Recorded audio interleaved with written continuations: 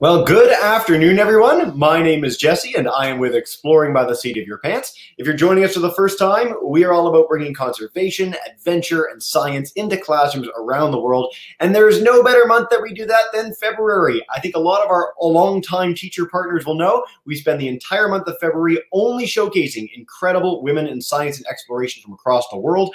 Uh, in addition to 35 live broadcasts throughout the month, uh, this month, uh, we also did our epic Women Blaze Trails Festival. So I'll bring up a banner for this uh, right now on the screen. We did 50 programs in three days, everything from astronauts to cave divers, deep sea biologists to Serengeti All Stars. It was just an incredible celebration of some amazing people and places from around the globe. You can check out all those talks at the website or on our YouTube channel. Today, we are diving in with a very special presenter. I've wanted her on this broadcast for four years, but she's been spending so much time saving the planet and doing such incredible work that she couldn't quite make it. So Thrill for me personally, hopefully for you guys too. We are joined live in Toronto, where I am too, by Dr. Emily Darling, and she is a coral reef biologist with the Wildlife Conservation Society. She has gone all over this planet in pursuit of one of the most beautiful and amazing ecosystems on this on, the whole world. Um, and we're going to learn a little bit today about some of the places she's gone, some of the threats facing reefs, and what people are doing to protect them. So, without further ado, thank you so much for joining us, Dr. Darling, and take us away. Oh, that's an amazing introduction. so much, Jess. And thank you so much, everyone who decided to come along today and dive with me uh, into one of the places that I find to be the most fascinating and most cool on our planet.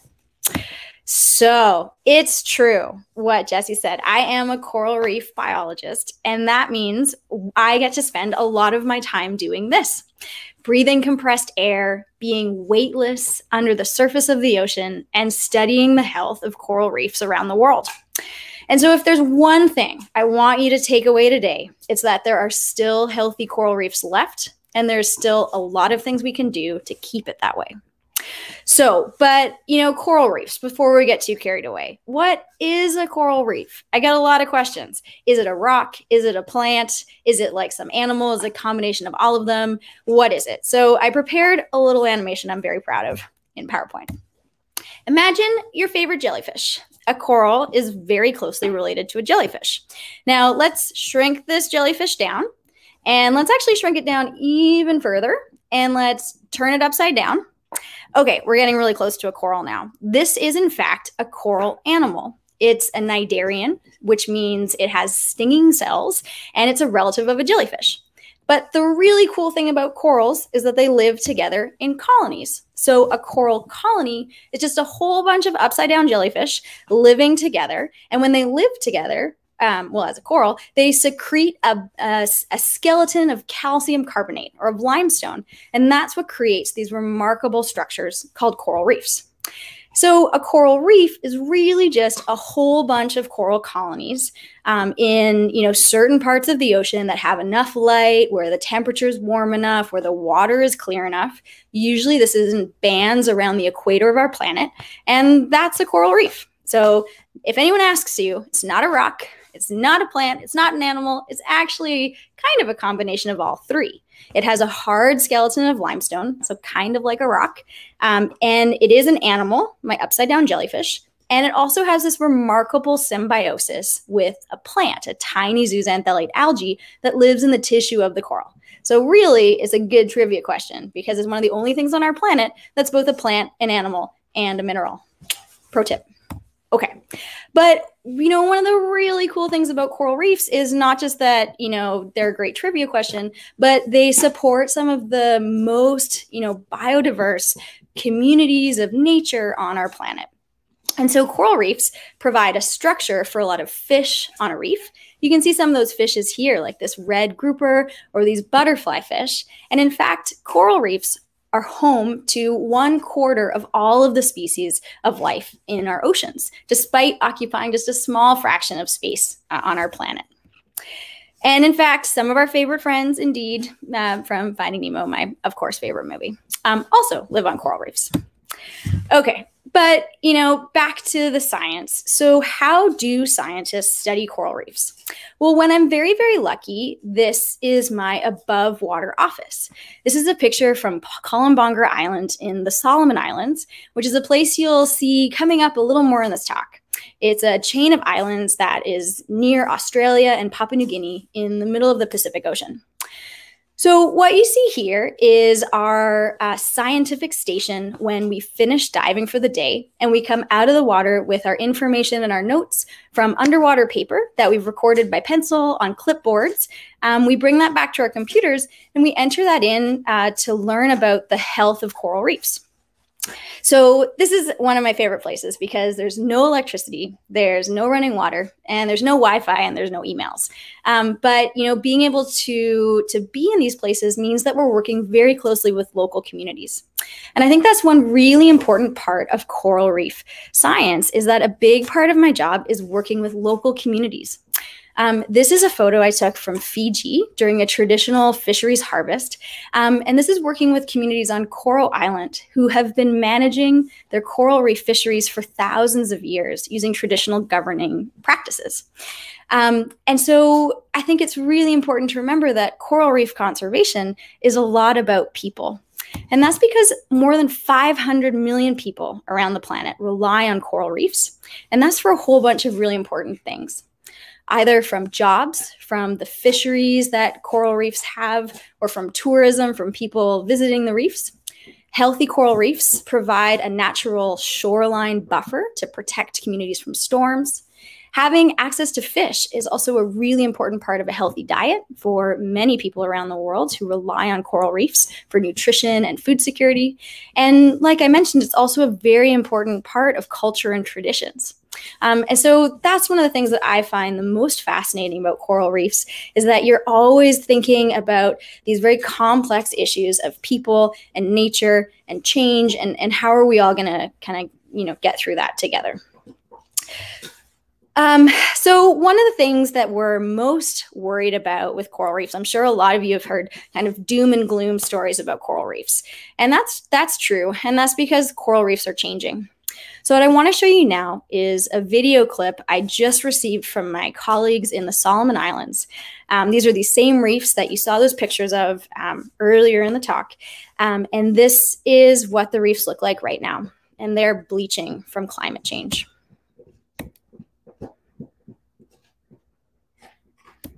Oh,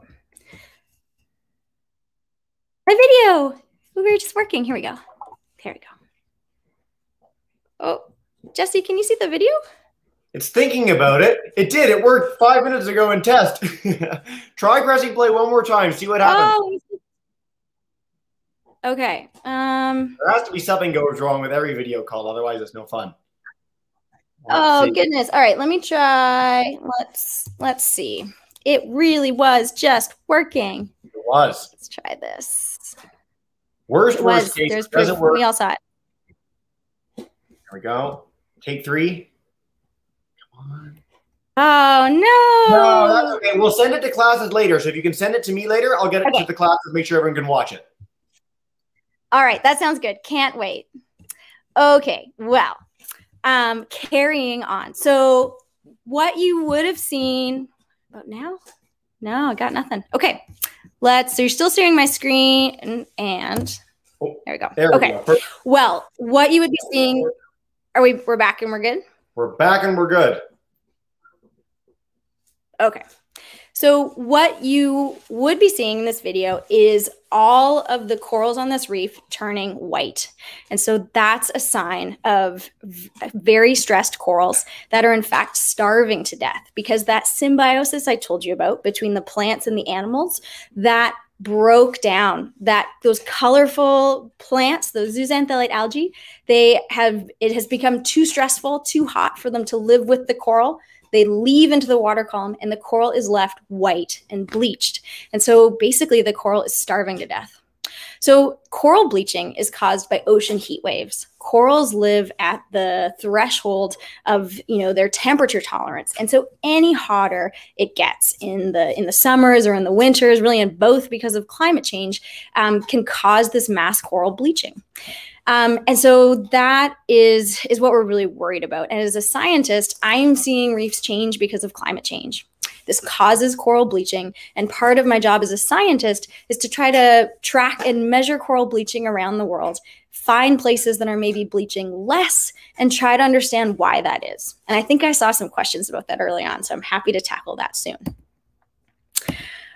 Okay, so with too much bleaching, scientists are really worried that coral reefs are going to look like this in the future. We know that half of the world's coral reefs are gone, and we're worried that 90% of coral reefs may be lost within the next few decades to climate change. But I want to tell you that that's not all doom and gloom. That's based on on modeling, and we're updating and and you know learning new things about the models every day with the science that we're doing. And one of the things that's been really surprising, you know, especially to models that predict a lot of this doom and gloom, is that there are still healthy coral reefs on, on our planet. And so, as a coral reef scientist, part of my job is to help train and connect scientists around the world to undertake scientific surveys to find the reefs that look like this and understand why they're still there. So I've seen them, they're out there. Um, and there is still so much hope for coral reefs, just like there is for other ecosystems across our planet. So I know we all wanted to be marine biologists when we grow up. And so I wanted to take you to the field. And I'm a little worried this next video isn't going to work either. But let me try to tell you a little bit more about my job. And if not, I will answer questions later. Not looking good, is it? Oh, such a bummer. All right, we will send you this one too. Yes, we will. Oh. Oh well. Fine. I'm moving on unhappily. Okay. So, what does it look like to be a coral reef scientist underwater? Well, it's actually, other than wearing scuba gear, which you can see here, which has um, a mouthpiece to breathe air and a buoyancy control jacket to control where I am in the water column, fins to help me swim. Um, this is, that would be what I'm wearing. The picture you're seeing here is actually Dr. Nyawira Muthiga, who is one of the leading marine biologists in the world. And she grew up studying the coral reefs of Kenya and Tanzania, where she's from. And so, what I want to do is show you what it looks like when she goes underwater to survey coral reefs. She um, takes down underwater slates, which you can see here. These are basically pieces of plastic where we've, with rulers and permanent markers, we've recorded all the different types of fish and corals we expect to see underwater. We then attach our pencils to the slates and we're able to mark down and count the different corals and fishes that we've seen. So a lot of people ask, how do you write underwater or how do you measure and, and record coral reefs? And it's through using very low tech, uh, you know, very low tech means like this. Um, but, you know, one of the things I've been really excited about, and that you'll see in the videos that we send, is that once we get back to the surface, we're able to use some of the most cutting edge technology to then take um, our underwater surveys and put them into the cloud. So um, use cutting edge web applications to, you know, very quickly enter our data, check and clean it, and then push it up to a global community of other scientists who are using similar methods. And by comparing these types of surveys all around the world with our uh, online technology that we call Mermaid, we're able to find out where are the healthy coral reefs around the planet?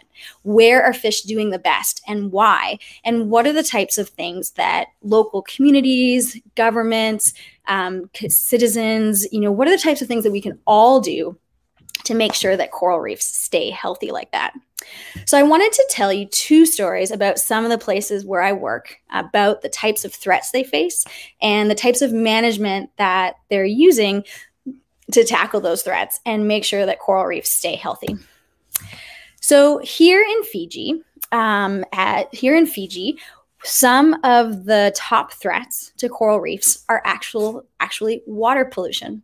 So when there is logging or pig farms or agriculture on land, any nutrients or sediment or dirt that sort of happens, you know, on land that can run off onto coral reefs. So, coral reefs are coastal ecosystems, which means they're right on the margin between land and water. They're often very shallow. You can see here a, a woman from a local community um, fishing on the reef. Um, so they're very near, you know, where where activities, our activities on land are happening.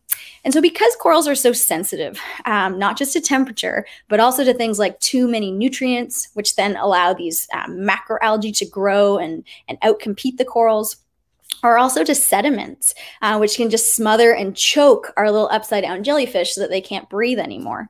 So in Fiji, um, our conservation teams are working with local communities to really clean up the water that is moving from the land into the ocean for coral reefs.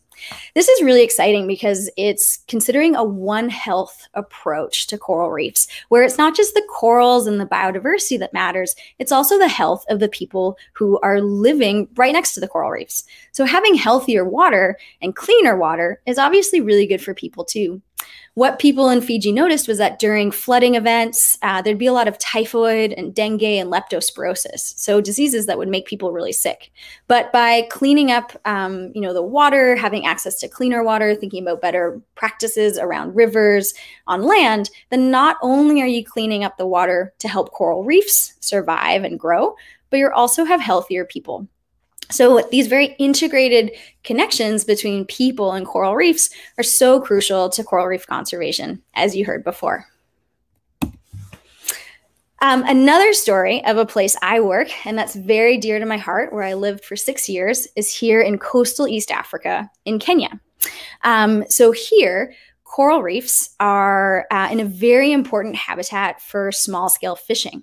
So you can see here some local community members going out in a traditional dhow. So it'd be a small wooden sailing vessel. Um, they'll go into the lagoons of, with coral reefs and fish using traps or nets or spear guns to bring home uh, their daily catch. And that daily catch is really important because it can be one of the only ways that they um, either have food for their families um, or also sell that catch to local traders or fish markets and then have food and then have money to not only buy other food for their family, but also to send their kids to school. So, fishing is an incredibly important livelihood uh, for many people around the world, and especially here in Kenya. So, one of the threats to uh, coral reefs and coral reef fisheries in Kenya is simply too many people out fishing um, and to and using destructive gears. So gears that catch too many fish or gears that have you know nets that have very small mesh sizes where baby fish are caught. And so when you catch baby fish in a fishery your baby fish can't grow to be adult fish to then make more baby fish. So it becomes a very unsustainable or exploited fishery um, but there's really good news because we know a lot about sustainable fisheries management. So that would be things like making that mesh size bigger to allow the baby fish to survive and you know grow and reproduce. And so what we've been doing at the Wildlife Conservation Society in Kenya is working for over 30 years with county governments, with local fishing groups, um, with other you know various agencies and partners um, to give local fishermen the evidence they need to make decisions about their fisheries. So on the right here, you see an example of a fishers forum. And this is an opportunity for hundreds of fishers to come together from the North Coast, from the South Coast, and even as far away as into Tanzania. They come together for the day and they learn about the latest science around the coral reef fishery and they talk to each other about different options that they can take to make sure that their fishery is, is as sustainable as possible into the future. So, again, the sustainability issue is combining people and nature. When you have more fish on a reef, then those fish are able to pr provide really important functions to the corals. So, fish graze algae and they create space so that baby corals can come in and settle on a reef and then grow into big corals. Um, and when you have more fish on a reef, you also have more fish for the fishery. And so that's good for people. So, again, coral reefs are very connected through people and nature, and being able to give local communities who make decisions the best science and evidence uh, has been a really satisfying part of my job. Okay, so what I told you a little bit about was this thing called Mermaid, um, and uh, that'll be sh- shown in one of the videos that you'll see soon. But one of my big passions of being a coral reef scientist is not just going underwater, but being able to work with incredible scientists like Yashika Nand, who you see here from Fiji, like Dr. Nyawira Muthiga from Kenya. And by creating tools like Mermaid, we're trying to connect their stories and their data around the world. Um, and it's really important that we bring these data together because it can tell us new things and more hopeful things about coral reefs. For example, um, recently we published one of the largest studies on coral reefs in the world where over 100 monitoring scientists, including Yash and Nyawira, like you just saw earlier, they sent in a lot of their unpublished surveys and they sent them to me and I was able to combine them and synthesize them with studies from people, you know, across the Indian and Pacific Oceans. So every yellow dot you see here is a scientist who went underwater with their slates and their pencils and recorded the health of coral reefs. Um, they had never been put together in this way before. Um, they would have stayed in their own little yellow circles. But by bringing them together, we were able to find something really important. We found that there are over 450 reefs in 22 countries across the Indian and Pacific Oceans that are still very healthy and functioning. And more importantly, they seem to be in these pockets of climate refuge. So they aren't heating up as fast as other reefs nearby. So that is really hopeful because it suggests that we can have a network of functioning coral reefs around the world, and we can pair that with what we know about local management about having more sustainable fisheries, about cleaning up the water that coral reefs live in. And that also has benefits for people, like having more fish to feed their families, to pay for their kids to go to school, and to not get sick from diseases from dirty water. Okay. So, saving coral reefs, unlike probably some of the um, uh, other stories you've heard from exploring by the seat of your pants is not rocket science. It's actually really straightforward.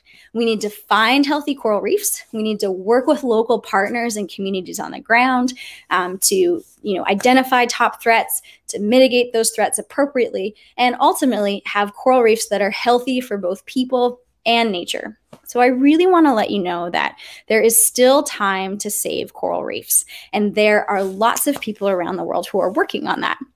But we want to recruit you too. Being a field biologist has been one of the most coolest things I've ever done in my life. Being able to see coral reefs or travel to other countries, work with people around the world. Um, and so science has taken me to places I never would have imagined. Um, and field biology is, you know, really different than, you know, chemistry or physics or maybe some of the exercises in school that you're not super jazzed about. Um, but it can take you into really remarkable places where you solve problems, you work with other people, and you try to leave the world a better place. So I hope you'll all consider field biology in the future. Um, so there's still time to save coral reefs. Um, and of course, that's not only for the biodiversity of nature on our planet, but it's also for future generations, like this kid in the Solomon Islands, who I really hope gets to grow up and not only go to a great school and make great choices about how they want to live their life, but also have healthy coral reefs that they can depend on for themselves and their family. And so, with more people caring about coral reefs, not just about the biodiversity and the nature, but also the people who depend on them, I, and I hope like you, are really hopeful for the future. So, I'd like to stop there and thank you very much. And I'd be happy to take questions. And I'm so sorry those videos didn't work out. I can't wait to send you those links. That Thank you. Quite all right, Emily. That was an amazing presentation. If you want to come out of screen share so you can see us have a bit of a conversation, go for it. Um, I want to note uh, for our classes live, we've got seven groups live, at least four more on YouTube. So it's like 250 plus kids from across the continent. Welcome into all of you guys uh, for this really special presentation today. And before we dive in with questions, I really want to note this for our classes. You guys got a chance to see Emily's adventures all over the world today. You got to see how cool scuba diving can be. Every one of our classes that are live certainly are fit the bill for this. PADI, which is one of the leading certification groups for diving in the world, has a bubble maker program that you can start at eight years old. So from the time you're eight, you can start on the path to becoming a scuba diver and exploring more than two thirds of this planet. I could not encourage you guys to do anything else that will uh, increase your adventure quotient more than that. So do check out that program. It's some really, really cool stuff.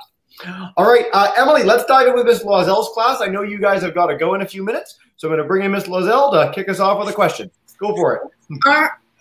Good afternoon, Emily. What, Hi there. We're from Sudbury, Ontario, Canada. I hope you know where that might be. Um, anyhow, um, one of my students. I sure do. I'm just south of you in Toronto. Perfect. Okay. Um, one of my students wanted to know, and I hope you can answer this where do lionfish get their poison from? I don't know if you're able to answer that or not. Oh, that's a good question. Um, lionfish, um, I actually moonlit as a lionfish biologist to work with some friends in the Caribbean. Um, so I don't know lots about their poison, but I know enough to know that we were very careful not to touch their spines. Um, but likely they get their well, they get their poison from their spines, and it's a defense mechanism. And it means that other fish don't like to eat them, as of course you know. Not only do they have big spikes and they're bright red and orange, but then if you touch their spike, your hand is just going to swell up like a balloon. And that did, in fact, um, happen to some of some of my friends who were working with them for many, many years, and said it was very painful. And you have to pour like kettles of boiling water over your hand, and then it eventually gets better in a couple days. But um, when we think about where animals get their poison, um, it's usually through evolution. So at some point, there was a lot, there was some ancestor of a lionfish um, who, you know, maybe a few spikes or, you know, some coloration. And there was probably a mutation that created poison in one of its, you know, created this poison. That ended up being a pretty good life choice for that lionfish because it didn't get eaten. And probably other lionfish who didn't have that mutation did get eaten. So as I'm sure you know how you're what you're all seeing through the process of natural selection over you know many many generations, now all of those lionfish um, have that that type of poison. Um, lionfish and poison are really an important conservation story because um, they have invaded the Caribbean. So they're natural to the Indo Pacific. But in the Caribbean, they uh, accidentally were released from an aquarium in Florida during a hurricane. And now they have just completely taken over the Caribbean. And because of that poison, and also because they don't have any natural predators, they're doing a really good job at sucking up all of the little fish and baby fish in the Caribbean. And so um, this has been a big problem, and conservation has responded. So dive shops uh, have organized lionfish derbies where you go out with your spear gun and you only hunt lionfish and your goal is to just completely clear them off the reef. That's been working really well. And in fact, we're seeing lionfish being less of a problem in the Caribbean, in part because, you know, obviously because of conservation, um, but, you know, that's all related to their poison and their spines too.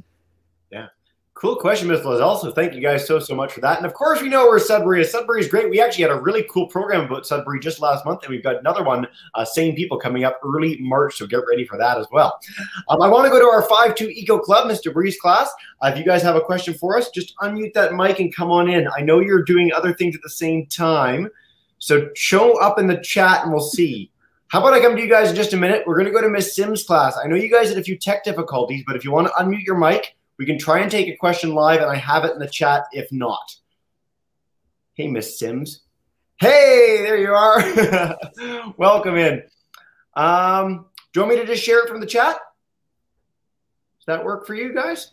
Okay, let's do that. So their first question um, is the Canadian government mm-hmm. helping coral reefs in any way, Emily? Oh, you're in. Great question. Yes, so I would say that yes, the Go, go the for Canadian it. government is the Canadian government is helping coral reefs in part through funding coral reef scientists um, and like myself and other colleagues. So a key part of helping coral reefs is understanding what makes them tick how to save them better. So funding our, you know, Canada's science and research more broadly than just the things that live in Canada, but you know, the things that live globally can be really important. Um, but also, you know, Canada's commitment to um, foreign aid can contribute to things like helping communities have more sustainable fisheries or have more access to clean water and that can have you know more indirect um, but cascading effects to coral reefs um, so good question. I have to think a little more about a tougher answer to that, but I hope that gives you a little bit of an idea of um, how the Canadian government is helping coral reefs. Yeah, that's perfect. Um, we're going to head to London, Ontario, Mr. Patrick's class. If you guys have a question for us, come on in, uh, unmute that mic, and you are good to go. Hello, Mr. Patrick. Come on up. uh, how do coral reefs get their coloration? Coral reefs get their colors from those tiny symbiotic algae that are called zooxanthellae that live in their tissues. And so that's what gives them their pinks, their blues, their purples, their oranges, their yellows. All those colors are because of the algae that live in their tissues. Um, those algae have their their colors because of how they photosynthesize from the sun. They need pigments to be able to capture that sunlight and turn it into food. So a coral itself is just a kind of translucent white animal. And we know that because of coral bleaching. So when corals bleach and turn white because their ocean temperatures got too hot, it's because their algae have left the coral and the algae took their color with them. Great question, guys. I was wondering how long it was going to take to get that one in. Um, Mr. Breeze uh, Eco Club, if you guys want to bring on your camera and let me know that you're there, I will come to you in a minute. But we are going to go to Mr. H's class. They're joining us in Waterloo. So, Mr. H, if you want to unmute your mic and share one on behalf of your class, go for it. Sure. Um, one of my one of my students in my class, Logan, had a question. Um, I'm not sure if you know this offhand, uh, but he had another question as well. Do you know how many square square? Oh, yeah. Can you guys hear me? I believe you're muted. No, we're good. We can hear you, Mr. H. Oh, I'm muted to my class. They're telling me I'm muted, but you guys, I'm not muted to you guys.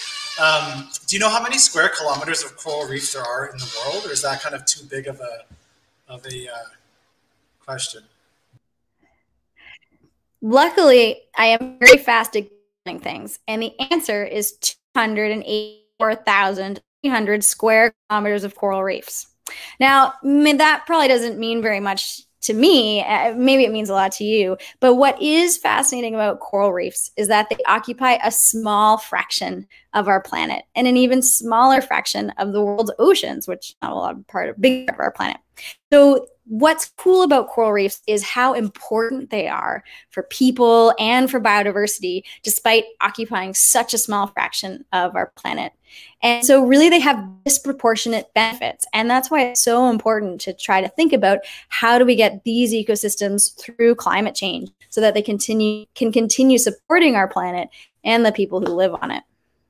So, small amount, like globally, but the actual answer is like 284,300 square kilometers. Excellent. Great question, Mr. H. And great Googling, Emily. That was awesome.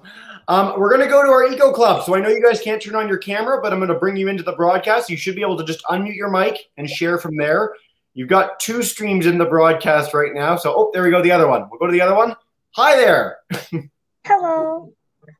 Okay, so uh, one of my classmates have a question. Uh, her question is, by what time do you think the reefs will flourish again? Will flourish again with lots of work? Ooh.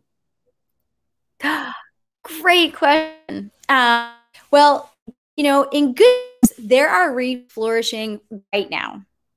And so people are definitely working hard to, to keep it that way, making sure they have clean water, making sure they have enough fish.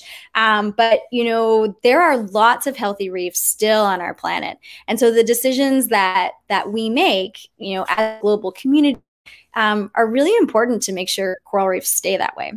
I'm maybe stepping back and from another angle on that question, we can make sure that all reefs flourish um, by really making sure we tackle climate change.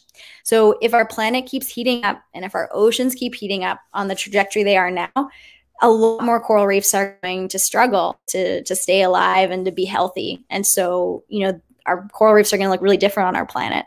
And I don't I want to make sure that coral reefs flourish the same way that you do. And so in good news, there are very healthy coral reefs still in, in places on our planet, but to make sure that all coral reefs and all people have a chance to depend on those coral reefs, we really have to work on climate change and making a transition to more wind energy or tidal wave energy or you know solar energy. There are so many other ways that we can power our planet other than burning fossil fuels. And that's going to be a hard transition, but it's a really important one we have to make to ensure that coral reefs and all the other biodiversity on our planet has the best chance of success.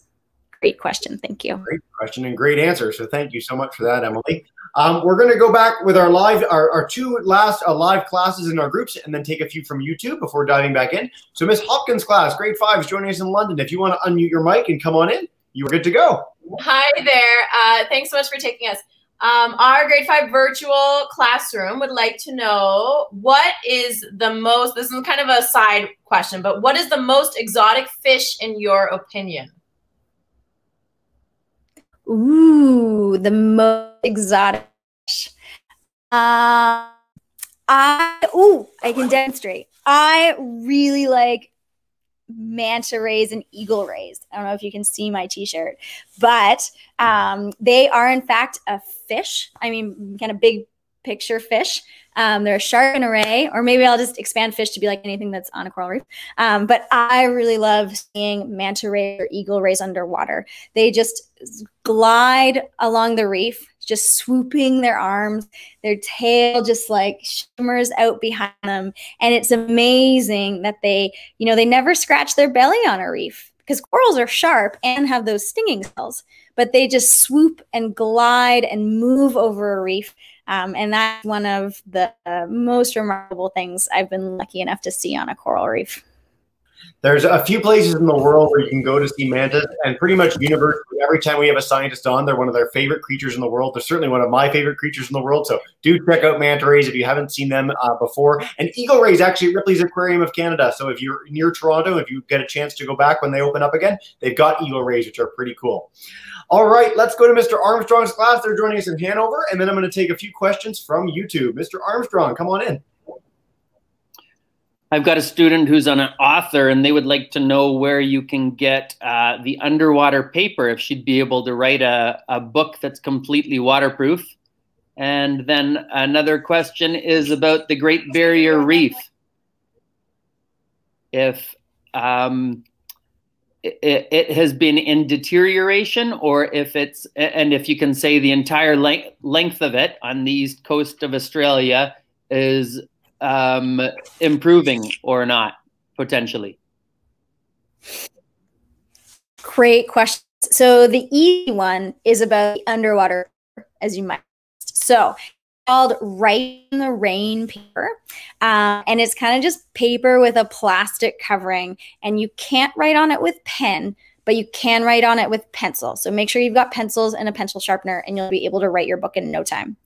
Um, you can get it from kind of any outdoor supply store, or I've even seen like Write in the Rain notebooks um, at local stationery stores. So they usually have a yellow cover. Um, I really look forward. Perfect. Thanks, Jesse. I really look forward to your underwater paper book. That's awesome.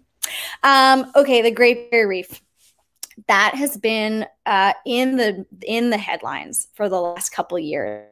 And because the great barrier reef is you know the largest man the largest natural structure that can be seen from space. Like you said it extends from you know the northernmost tip of australia all the way down the coast or, you know mostly the coast of australia. It's a massive structure. Um, we you know, as scientists are very worried about what the Great Barrier Reef is telling us because it has experienced back to back to back bleaching um, in, I believe, 2015, 2016, 2017. So this, the Great Barrier Reef had has never experienced bleaching like this before. Um, and so corals rely on long recovery times um, to grow their reefs and grow their colonies. Corals are slow growing animals. It takes those little upside down jellyfish a long time to like make their limestone skeleton and grow a whole reef. Um, that doesn't happen overnight. It takes decades and generations. And so the problem with back to back to back bleaching on the Great Barrier Reef is that corals have not had a chance to grow and recover in between those bleaching events. So recovery windows are shrinking with climate change as more extreme events happen more frequently. And for corals, that's not giving them enough enough time to recover. So in terms of where does the coral the Great Barrier Reef stand now? There's hopeful i mean that's obviously worrying news that corals don't have enough time to recover but there is hopeful news in that there are still pockets again of very healthy reefs there's been some recent science showing that you know even with just a small percentage of, of reefs that are healthy in the Great Barrier Reef. Um, they can send baby corals out to a larger area on the on the Great Barrier Reef to help other reefs recover. Um, so it is it is definitely worrying. Um, in general, though, about your question, the northernmost, centralmost part of the Great Barrier Reef were the most affected by bleaching, and the more southernmost part of the Great Barrier Reef seemed to escape that bleaching.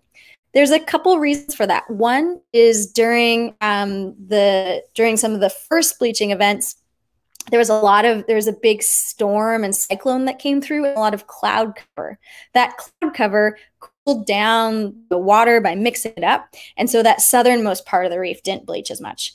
Um, also it is just cooler um, you know in terms of temperatures towards the more um, higher latitudes. So corals just have a bit have a bit more um, chance to survive because it's it's naturally cooler um, but the Great Barrier Reef is definitely a remarkable place. Um, and it's, you know, one reason it's remarkable is that because there are teams of scientists who are part of a national coral reef monitoring strategy. And so they take the pulse of the Great Barrier Reef's coral reefs every single year. Um, that's called the Australian Institute of Marine Science. And they publish reports online where you can go through and look at um, what's the health of the Great Barrier Reef and learn a lot more about how scientists um, measure that health and also the really cool things they're looking to in the future, such as taking baby corals. So, this is when corals are larvae in the water. They haven't attached to a reef yet, but they're just in the ocean. They can collect them, scoop them up, then put them into aquariums where they simulate bleaching or they simulate temperature events or simulate the future climate. And they're basically trying to acclimatize baby corals to future temperatures. So giving them these shocks of heat early on to help make them more resilient in the future.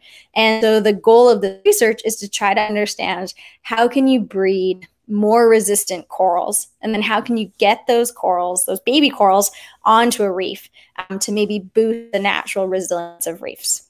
So, lots of really exciting things happening in Australia. And the Great Barrier Reef is a great place, and I hope you all get to go visit it.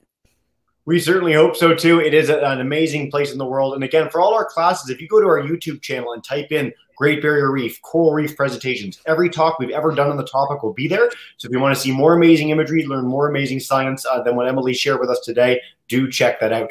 Now, we are nearing the end of the broadcast, which unfortunately means that we have time for about one more question. Um, what I'm going to do, though, for everyone who's keen to ask more, do check out Emily's website and her social media accounts uh, uh, at Emily S. Darling. Uh, she does amazing work there, shares more answers, and you can reach out and find out more answers to your questions because there's more than we can possibly take in one broadcast.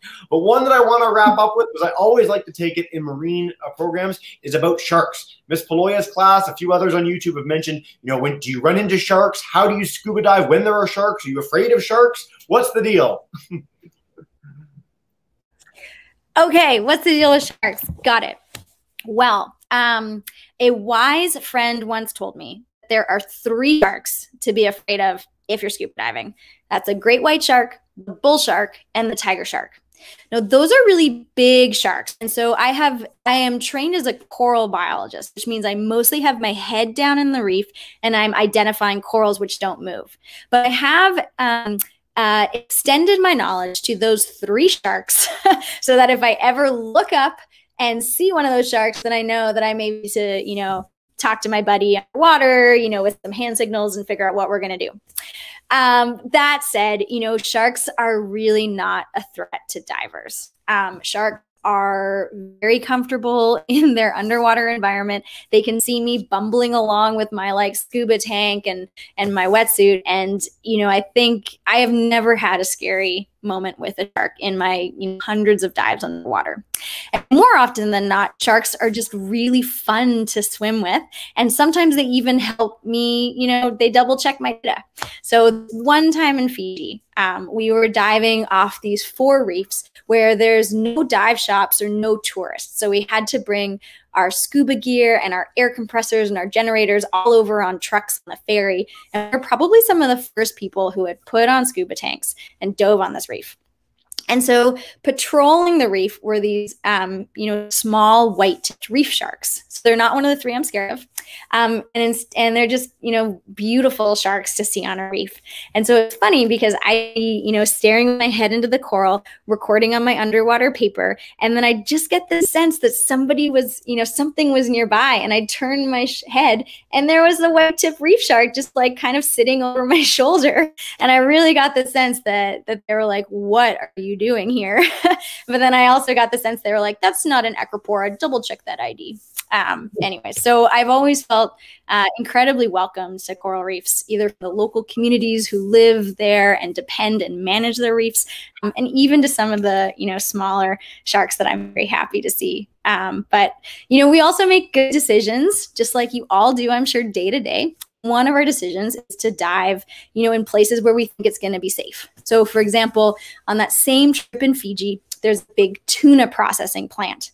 And so that tuna plant, um, you know, tuna are fished, come in, they're made into cans of tuna or fillets of tuna, and then all kind of the blood and guts and the other parts of the tuna they don't use that's just flushed out into the ocean. Um, and so, you know, it eventually kind of clears up with the tides. Anyways, um, that's a great place not to go scuba diving because that's where there's going to be a lot of sharks coming in to check out this amazing story of like uh, bits. Um, so that's a place we don't dive, for example. So we make good decisions. We know uh, what you know what sharks to to avoid, and more more often than not, when we see a shark, it's just the most wonderful thing to see on a dive. I'm so glad we could get that message in. And I want to stress for classes again, sharks are something that cause a lot of fear in a lot of people when they think about the ocean. They really are amazing animals. They're beautiful animals. M- many, many more people get knocked on the head by a coconut every year or have a vending machine fall on them than get attacked by sharks in the wild in all the oceans of the world. Um, one of the people we've had on this broadcast is Cristina Zenato, who her whole presentation is about swimming with sharks and her relationship with sharks. So do check that out too as a nice follow up if you're keen. Uh, what we're going to do now, again, I'll bring up uh, Emily's website, her social media. You can check that out. We're going to get you guys those videos in an email after this broadcast. So stay tuned for those as well. Um, but I want to just thank you so much, Emily, for joining us today. It's been such a pleasure. Um, thank you so much for coming in and sharing your stories with us. Uh, thank you so much, Jessica, and thank you all for being interested in coral reefs and the ocean and our planet. Um, it's one of the most coral reefs are some of the most remarkable places I've been, um, and I hope you find remarkable places on our planet that you love too. Awesome. And with that, Emily, I know it's your first broadcast. So what we do at the end of every broadcast, I'm going to bring in all our teachers and groups. If you guys want to join me, uh, Mr. Breeze, Mr. Patrick, Mr. H, Mr. Armstrong, Miss Hopkins, just join me in saying a big thank you and goodbye. Thank you guys for joining today.